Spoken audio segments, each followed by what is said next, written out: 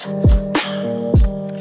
Hey guys, welcome back to the channel. My name is Jimmy, and today we're going to take a look at the latest software update to Samsung One UI 6.0 with Android 14, and this is Beta 7. Now, when it comes down to the Galaxy S23 series, this one is Beta 7. Some of the other Samsung phones are sitting on Beta 1, 2, or 3, but this update right here is a fairly large update. It's 715 megabytes. Usually, a security patch, a monthly security patch, is right around 200 or 300 megabytes. So this one is just holding a little bit more there's quite a few improvements and bugs that has been fixed, especially when you consider that the last update we got was exactly one week ago today on October 7th. So with this update sitting right here, over 700 megabytes. I'm hoping maybe this one could be the last one, maybe lucky number 7, because Android 14 is officially launched on some of the Google Pixel devices that's currently out right now. So if you have the Pixel Fold, the Pixel 7 Pro, all the other ones before that, you'd be able to have the official launch of Android 14, which means my hope is that Samsung will push it off with Samsung One UI 6.0 as the official launch, maybe within two to maybe four weeks, just because it looks like we got this update just one week after the last one. I'm hoping that we're almost finished. It should be coming at the end of October, maybe early November. So with this update here, this one does end with ZWJC. You still have that October 1st patch, which we've had the October 1st patch for the last couple updates, the size of 710 megabytes.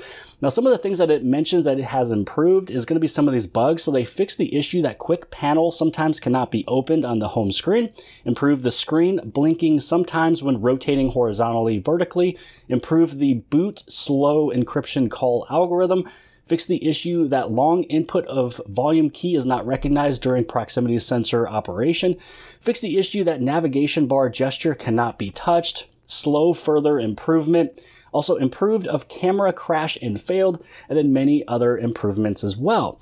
Now, another thing that I'm noticing with this right here, which I just kind of noticed today, is going to be inside of Good Lock. Now, anytime that you see a lot of updates when it comes down to Good Lock, then you know we're getting closer to another update. And you can see here that Noti Star was one that was unplugged, but now there is a update. So this is letting me know that we are getting closer to the official launch of One UI 6.0 with Android 14 on the Samsung Galaxy devices. So let's go through, let's install this, let's update this. We're to take a look at a few Samsung applications and services to see what we can find that's new manually. Then we'll take a look inside of the Galaxy Store as well as GoodLock to see what else they have improved or uh, uh, updated. And then we'll also take a look at the Samsung Security mobile page, just because I didn't take a look at it last time, but this way we'd be able to see how many issues were fixed when it comes down to normal, moderate, or critical. Now, it's usually this point in the video that I like to state that if you're brand new here at the channel Jimmy is Promo, we appreciate these tips, tricks, tutorials, and the latest information on your Samsung Galaxy devices. Make sure you guys hit on that subscribe button as well as the bell for notifications to get notified for all future videos. So now that the update is done and complete, how about we take a look at a few applications and services from Samsung just to see if they had an update along with this. And again, as always, if I find other bigger changes or features that I need to show off, then I'll make another video in the future. Now, for this one, originally Samsung Home was sitting at 15.0.0.1.184. This one's now sitting at 15.0.0.1.214. So looks like we have a newer version of Samsung Home. Then we're going to take a look inside of Samsung Gallery. So for this one, before the update was sitting at 15.0.0.0.31. This one is sitting at 15.0.0.0.35. So this one does have a newer version of Samsung Gallery. Now let's take a look at Samsung Camera, which is pretty crazy because all of these I looked at one week ago, all of these had updates as well. So inside of the Samsung Camera, originally before the update was 14.0.0.0.80. This one's at 14.0.0.0.87, so a newer version of Samsung Camera. Then we'll take a look at Samsung Files. Take a look inside of here before the update, this one was sitting at 15.0.0.0.53. It's now sitting at 15.0058, so newer version of Samsung My Files. And we'll take a look at Samsung Health. Now, inside of Samsung Health, before this update, this one was sitting at 625.0051. So this one's the exact same version of Samsung Health. So Samsung Health, out of everything, was the only one that did not have a update. So now how about we take a look at GoodLock because I was able to notice that there was an update inside of here, especially for one that was already unplugged originally, which is Noti Star. So going through here, you can update this one. Scrolling on down, this one gives the support for One UI 6.0 now. Uh, as you scroll on down, you can see that the update was pushed out on October 10th. So let's get this one updated. Now, one of the other applications that I noticed that was unplugged was right over here. Uh, it was the Navstar. So Navstar is still unplugged. So we'll see if maybe here in the near future, we'll be able to see if this one will get an update. And if this one, ooh, look at this. Navstar update. Let's see if we can update, update this one here. Now, this one was not sitting there from before. So Navstar, let's see.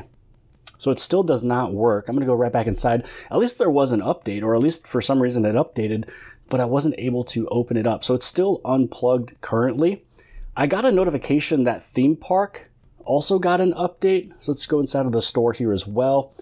Now, for some reason on my phone, I don't see it. So maybe they're from another country. But it sounds as if uh, theme park was able to get an update because last time was back on October or August 7th. But it says right here, One UI 6 support. So if I'm sitting on One UI 6 and I don't see the update, that just means that it's probably coming very, very soon. So it looks as if it should work, but it currently doesn't. Uh, so yeah, hopefully very, very soon we'll see that. So when you start seeing all these good lock ones starting, you know, to have them big updates and get back to being replugged in and start to work again and all that good stuff, then you know we're getting very, very close. So now that we took a look at Good Lock, now let's go back inside. We'll take a look at the Samsung Galaxy Store. Every single time that you update your phone, you always want to go inside of here and take a look at it. Now there was three sitting in here, now there's two sitting in here because that was where Noti Star was sitting. And since we just updated it, I don't see any other updates for Samsung applications inside the Galaxy Store. So now that we took a look at all of that, now let's go inside of the Samsung mobile security page to see what was updated when it comes down to moderate or critical or high on the Google side of things as well as the Samsung side of things. So all you have to do is go inside of About Phone, Software Information, you tap on the Android security patch on the very bottom, or you can click on the little link that I'll place below this video inside the description if you don't have access.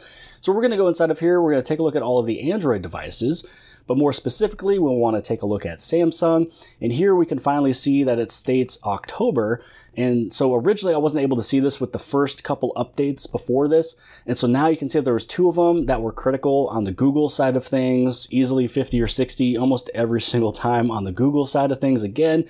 And then as you scroll on down, these ones that start with SVE, all of these ones are the Samsung side of updates. So it looks like we have one, two, three, we have four, five, six, and that's it. Looks like we got six updates on the Samsung side of things for the month of October. A lot of these severities looks like moderate, moderate, moderate. We have one high. And that is it. So we have one high and the rest are moderate when it comes down to the Samsung side of things for this uh, October patch. So that's all that I'm going to go off in this video here because all of these ones are just newer versions of applications going back on the security side of everything. All of the bugs and all the little fixes are all there. If there's brand new features or anything that's noteworthy when it comes down to a brand new video, I will come out with another video talking about those features specifically and not cover all the rest that we just got done doing here. But hey, we have a brand new update for Samsung Samsung One UI 6.0. This is beta 7. We see a lot of stuff happening and changing also inside of GoodLock. A lot of them are stating that it does work or is ready for Samsung One UI 6.0. Some of them went from unplugged to now plugged. So some of those modules are working now. And so that means that we are getting close, especially when Google already pushed off Android 14 to its Google devices just within the last few days. So hopefully you guys appreciated this video. If you did, give it a big thumbs up. Don't forget to subscribe. Subscribe on the very bottom left hand side. And if you like this video, then more than likely you'll also like this video. And I'll see you guys later.